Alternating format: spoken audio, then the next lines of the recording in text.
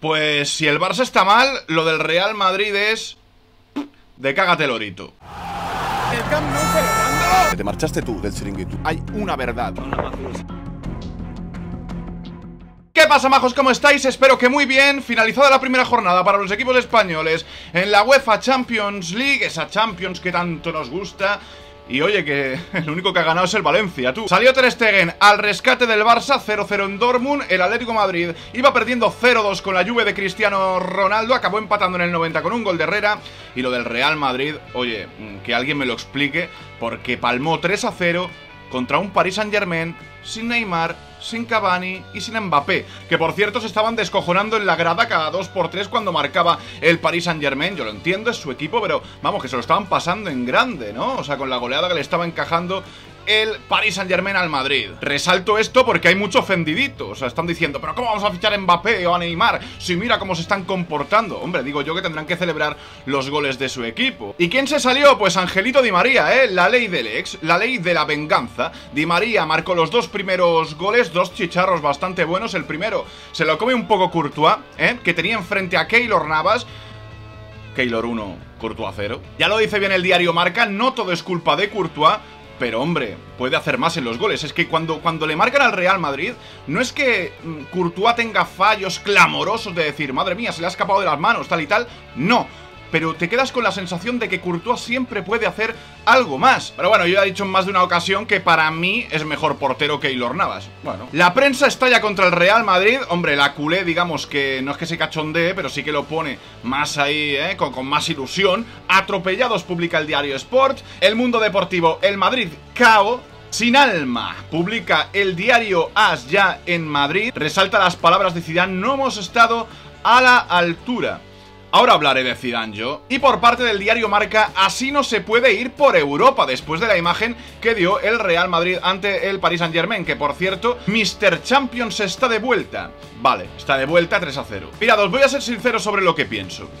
Creo que están preparando desde el Real Madrid y en medios afines la destitución de Zidane. Es lo que a mí me da. No digo que ya lo tengan claro y que le vayan a despedir si pierde contra el Sevilla en Liga, no. Mm, Simplemente digo que no hay esa confianza que había antes quizás entre el Real Madrid, Florentino Pérez, y el mismo Zidane, sobre todo después de todo lo que ha pasado en este verano. Zidane volvió, hizo un mal final de temporada, pero lo cierto es que, bueno, era un inicio, ¿no? Lo que importaba, bueno, en Liga, en Champions, y eso nos está viendo, ¿no?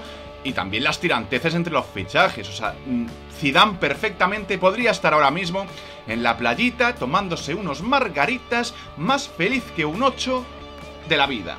Y sin embargo, decidió volver al Real Madrid. Que yo me pregunto, ¿qué necesidad tenías, Zidane? Yo supongo que si volvió es porque le prometieron que le harían caso, evidentemente un buen contrato, pero que le harían caso para planificar la plantilla y al final se ha quedado con James, se ha quedado con Bale, que en teoría son los mejores, porque ayer fueron los mejores contra el Paris Saint Germain, yo vi el partido y me quedé flipando con Gareth Bale, bien Gareth Bale, bien James, pero se han quedado al final con gente que él no quería, se ha quedado con gente que él quería fuera y gente que quería dentro como Pogba le han dicho, eh, este tío es muy caro, este tío no va a venir. Otro de los motivos por los que pienso que Zidane puede llegar a estar en la cuerda floja es Josep Pedrerol.